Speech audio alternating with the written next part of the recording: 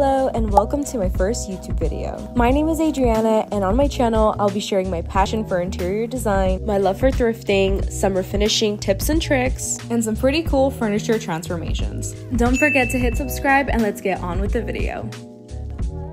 I purchased the TV off of Facebook Marketplace for only 50 bucks. She let me know it was non-functional and definitely needed some cosmetic work. So if you're watching because you want to do this yourself or you're just simply curious, here's how I did it. So as you can see, I've been scraping off the top layer of the finish. That's because I want to get underneath so I can sand and restain the top. There are plenty of other ways to do this, but I find that using a carbide scraper gets the job done the fastest. Now that the top layer is all gone, I can go in with my sander and smooth it out. I started with 220 grit and slowly increase my way up to 400. My goal is to keep as much of the original character as possible. I've done several other cat beds in the past, but the mid-century TVs are my favorite.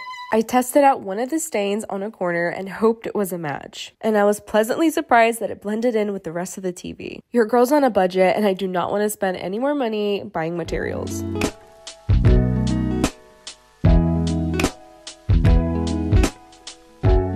So the body was in pretty good condition in comparison to the top. It just needed a little bit of love. One of my favorite products to use is called Restore Finish. It gets rid of nicks and scratches and brings the wood back to life. To seal the top, I'm using Wipe-On polyurethane. This is always my favorite part because I love seeing that wood grain pop through.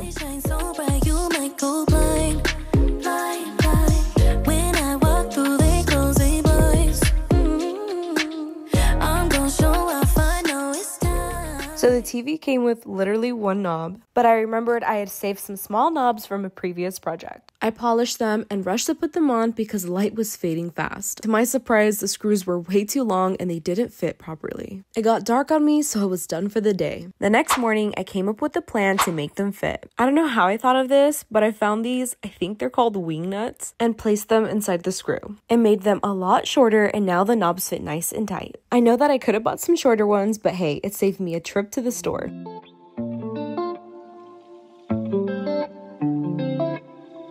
The exterior is now completely finished.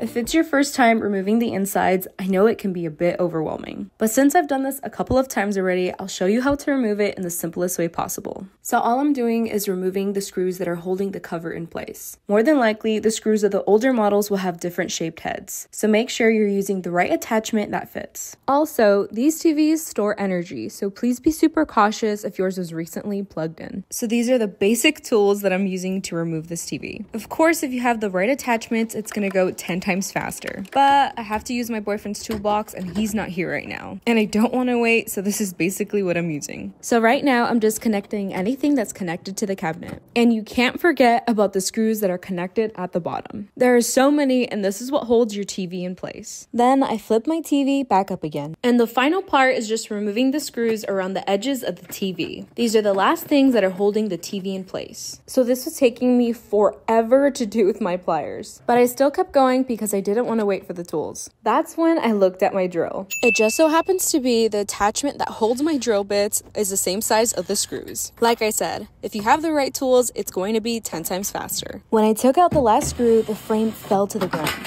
I was so scared that I had damaged it, but luckily it was fine. At last, the TV was free and I was able to remove everything in one piece. The inside of this thing was filthy. It's basically accumulated 70 years of dust in here. Now it was time to reattach the frame. I was really tempted to spray paint this gold to match the knobs, but like I said earlier, I wanted to keep everything original as much as possible. After that last step, there's no reason for me to be outside anymore, so let's take this project inside. I had some leftover wallpaper for my own TV I did about a year ago. And yes, it's totally okay that it doesn't cover the edges, because the back of the TV actually covers it.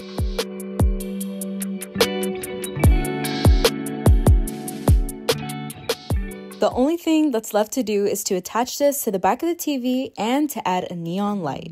I gotta make sure that it's Dorito approved first. And as you can see, he immediately found it super comfy.